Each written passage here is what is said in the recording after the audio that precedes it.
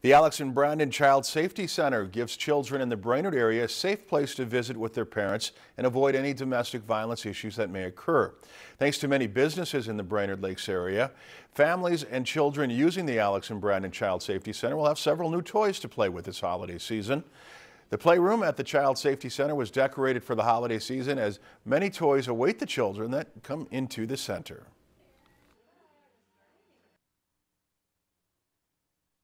So Tammy, um, she's a volunteer who originally started this, and so we've been helping her out with doing this, and so we're the ones that get to benefit from this insane, magical. Um, she's done an amazing job, and we're so grateful for volunteers like her and community members who donated all of this great stuff.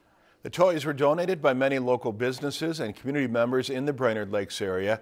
Some toys will stay at the center for children to use and others will be donated to the Women's Center and families in need that use Alex and Brandon Child Safety Center services.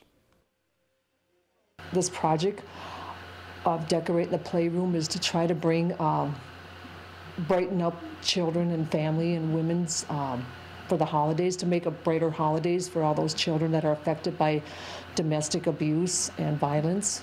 The Alex and Brandon Child Safety Center has been serving families since the year 2000 and is open 365 days a year.